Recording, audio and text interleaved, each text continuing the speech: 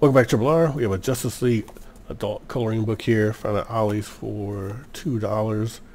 Got Batman on the back, some kind of classic drawing there. Justice League here.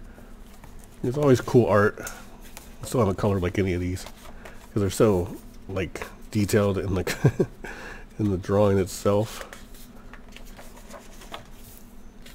I did grab these because I like the art a lot. Like that's just very cool looking in black and white alone. That's an awesome picture. Wonder Woman, Justice League over here. And we got some classic covers. Justice League of America. Some more modern stuff on that side. Very cool. So this is a, the latest one I've seen at Ollie's. It's Justice League one here. Like Coloring this would be a nightmare, I think. Maybe something like this I could do a little bit easier. So I've seen that cover before.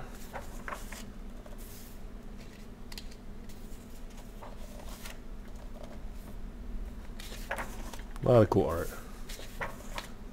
So if you're a comic book fan, I think you would like picking these up.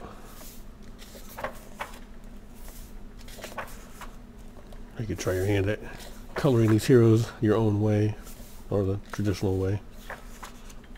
There's a cool Wonder Woman there.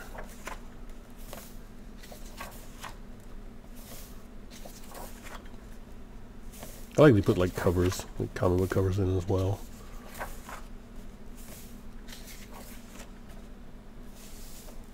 Alright, so that's quite a bit of it.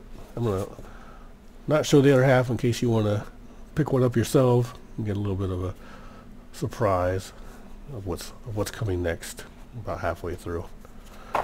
But these are always pretty cool, very sturdy. Coloring DC, Justice League adult coloring book, two bucks. Great price. Thanks for watching Triple R. Have a good day or night, wherever you are.